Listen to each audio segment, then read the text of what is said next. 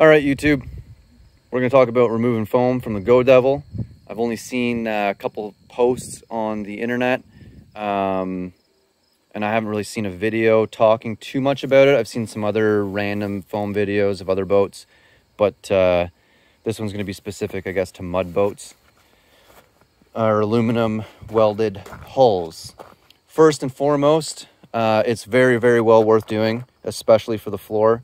These floor pieces uh, weighed, actually this is a nose piece, but these floor pieces right here, they weighed at least 10 pounds each. There was eight of them. Um, I have a feeling, I only weighed one, and I have a feeling a couple of them were heavier. So like there could have been 100 pounds just in the floor in the front section. The rear section didn't have foam. I'm guessing someone else removed that. By the way, this is my boat, the Shi Dynasty, um, and she's awesome. Now, getting just to the crux of things, I don't want to make this a long video.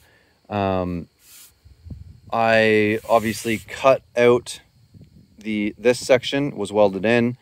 I used the angle grinder with a cutoff wheel, finished it off with the sawzall. Then I was using the sawzall to cut the foam um, and prying it out with the pry bar. Would end up being a lot faster instead of getting these small little chunks. It was very difficult to do. Um, I went to the chainsaw with a 20 inch bar and a felling bar to pry out larger chunks. That's how I was able to get, you know, nice big chunks like this out. Um, and it worked amazing. I would highly, highly recommend using chainsaw. What I would also say about that is you need to be careful. You can touch the sides, and if you touch the sides, they will, the chainsaw will cut the aluminum. That's more of a scrape. It looks worse than it is. This one is actually a little bit more deep than I want. But I did order a welder today. It's got a dual pulse MIG welder coming. I'm gonna weld those back up after I practice, obviously. And uh, I wanna fab up an encasement for this. So the other thing I'm doing is I'm leaving in probably at least, I'm gonna say about half, 50% of the foam that was in there. Um, I'm leaving the foam between this section.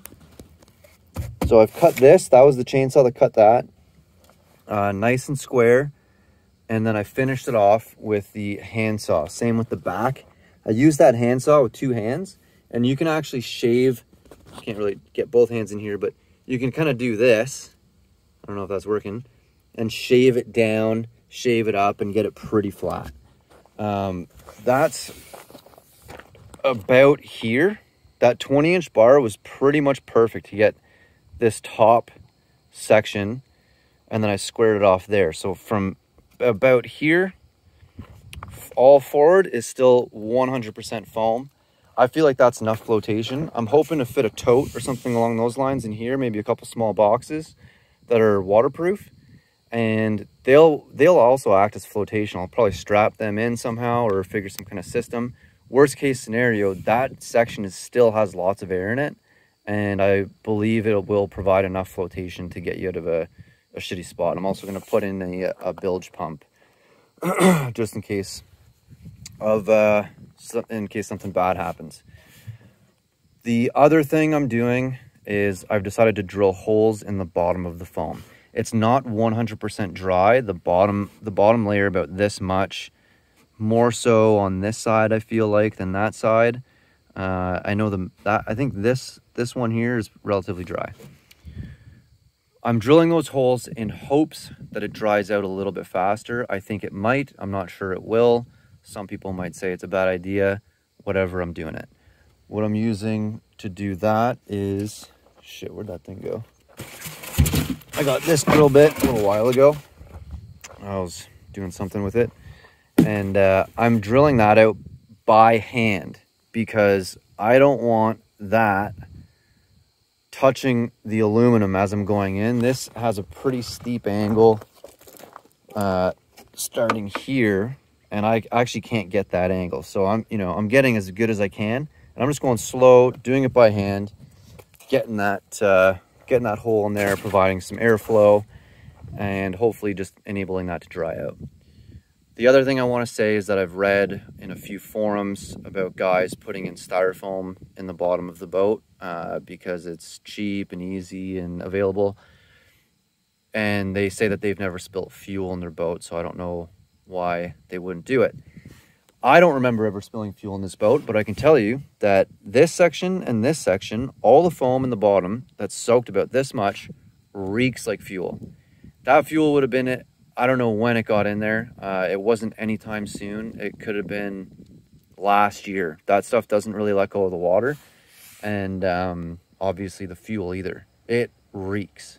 So I would highly recommend to not put in styrofoam, especially in the floor in the back, but probably anywhere because it will disintegrate on you. Um, those I think are all the tips that I wanted to go over. The chainsaw is great, just don't touch the wall. Uh, Sawzall is handy. The handsaw is extremely, extremely valuable. And uh, this is well worth doing. I think I'm probably shaving. It, it, looks small in the camera, but that's quite a bit of foam. And I still have foam in here, and this garbage bag here is full of foam.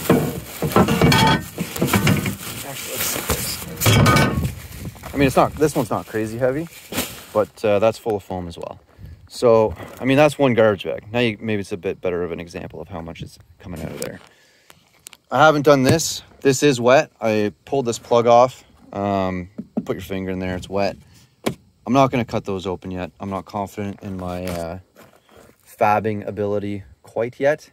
So maybe if this turns out nice, I may open these up and do something. But uh, for now, they're staying. They're staying as is. Um, I feel like I wanted to mention one other thing, but I forget what it is. So the last thing I do want to say is, you know, I'm just putting this out so everybody has some tips and tricks if they decide to do it themselves. Um, and I kind of also want to point out, I didn't start the video with my big dumb face. I'm kind of sick of seeing all these videos guys starting out with the camera excessively close to their face. It's a little ridiculous. Just show us what you're doing, get to the point, and get the video over with. Um, if anybody wants, I'll I, I can tell you guys this video is over. You can stop watching now if you want, but I'll go over what I did last year when I got the boat since the camera's running. Uh, I installed some electrical into here. I bought this box on uh, Amazon and then just made this little electrical panel. Um, I got two batteries, uh, switch there that uh, goes between between each battery. This does the front light, this does the interior lights, this does another interior light, and that does the rear lights. Um, I had a couple lights. I installed them down here. That was a dumb idea. I'm gonna move this to here. Uh, and those just shoot out down the sides. The front light shoots out the front. Got the winch there. Uh, it comes back to here.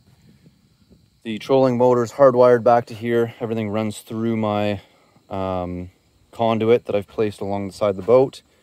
And it actually works pretty well. If I did anything different, if I cut this open, I'd get the batteries back in there. Um, so that the it's not as long of a run. Anyways, that's pretty much it. I think this is going to be a pretty sweet uh, upgrade you know, I can fit all my decoys in there. I can fit, fit some totes. I can uh, fit a lot of stuff. Like it looks pretty good. Look at that space. Still got the foam. Still got flotation. We're not going crazy. It's just going to be a better, a better boat when we're done.